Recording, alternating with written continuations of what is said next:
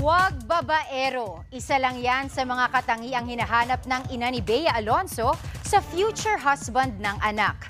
Kasabay nito, tumindi pa ang espekulasyon ng fans na nakikipag-date umano si Bea sa aktor na si Dominic Roque.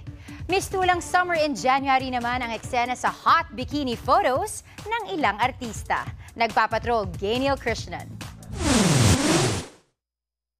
Sinurpresa ni Liza Soberano ang kanyang fans sa pag-post ng white bikini photo kasama ang boyfriend na si Enrique Hill. Sa pambihirang pagkakataon, ipinakita ni Liza ang kanyang figure. Bago nito, ipinakita ni Liza ang ganda ng Siargao kung saan siya nag-celebrate ng kanyang 23rd birthday. Birthday girl din si RC Munoz na thicker at 32. Pinainit ng aktres ang social media sa kanyang birthday bikini photos.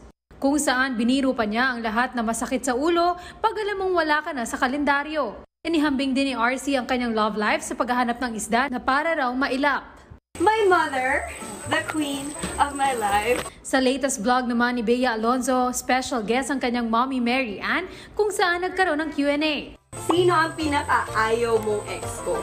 Oh my God, tinatanong pa ba yan? Diyos ko, ayoko magsalita. Pero huwag niyo na itanong, alam niyo na. Next question, please. Ano bang pangarap mo sa buhay?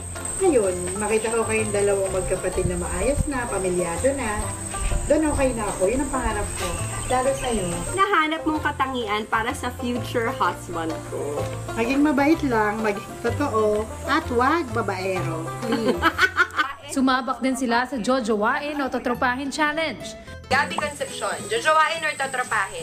Jojowain. Ako tatrapahin. Piolo Pascual, Tropahin ko na lang. ako jojowain ko si Piolo. John Lloyd Cruz, Jojowain, syempre. Oo, jojowain si ano, John Lloyd. Nabanggit din sa listahan ng pangalan ng aktor na si Dominic Roque na nalilink kay Bea.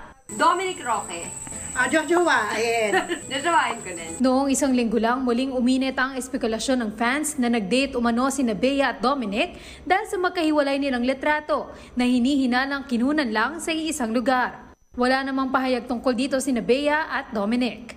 Gino Krishnan, ABS-CBN News.